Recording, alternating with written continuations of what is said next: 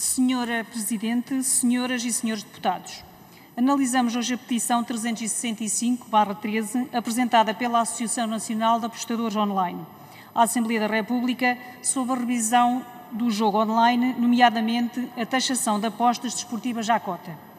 O jogo online é hoje uma realidade em crescimento exponencial. É baseado em plataformas informáticas com características bem diferentes do jogo tradicional, como Euromilhões, as raspadinhas ou lotaria.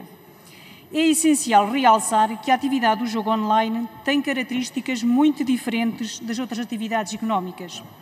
Tem de ser acautelado o seu impacto social na proteção do consumidor, bem como na prevenção da fraude e do branqueamento de capitais. A regulação do jogo online em Portugal é baseada no equilíbrio entre competitividade do mercado, de forma a reduzir a exploração e prática ilícita do jogo online, e os interesses de ordem pública, como a proteção de menores, grupos vulneráveis e de risco, ou a prevenção de comportamentos aditivos dos jogadores.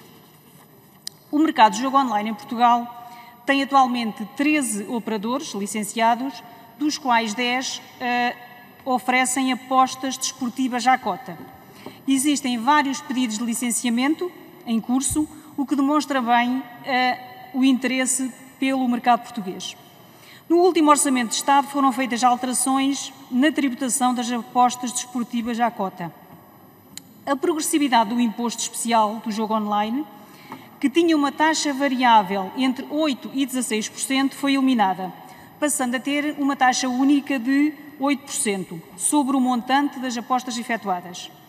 A eliminação da progressividade do imposto era uma das reivindicações uh, das entidades que operam neste setor.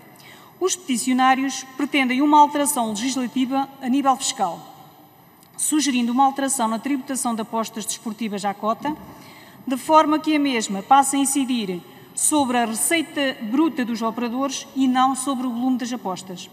Para isto, concluir, Sra. Deputada. Isto significa que a taxa de 8% seria aplicada ao valor líquido das apostas após o pagamento dos prémios. Esta forma de tributação colocaria em causa os princípios fundamentais, tanto fiscais como extrafiscais, que estiveram na base da regulação do jogo online. O controle do volume de jogo, o combate à fraude e evasões fiscais. Muito obrigada, Sra. Deputada. Estou a terminar, Sra. Presidente. A proteção dos jogadores e o combate à viciação de apostas e resultados podiam ser colocados em causa. Muito obrigada, Sra. Presidente. Ainda tem tempo. Peço desculpa, Sra. Deputada, penso que estava ainda nos esclarecimentos. Peço desculpa. Não faz mal, não faz mal. Pode continuar. Vou, vou, terminar então. A exploração de apostas cruzadas em Portugal também era defendida pelos peticionários. Esta está dependente da aprovação de um regulamento que estabeleça os requisitos do sistema técnico de jogo. O governo português está a aguardar da Comissão Europeia, está a aguardar a decisão da Comissão Europeia relativamente a duas queixas efetuadas por associações europeias de jogo online. Para terminar, uh, concluir que o jogo online é uma atividade transversal a toda a sociedade, as suas especificidades exigem cada vez mais regulamentação e controle, pois só assim podemos assegurar a defesa dos mais vulneráveis, dos menores e, em última análise, do consumidor. Muito obrigada.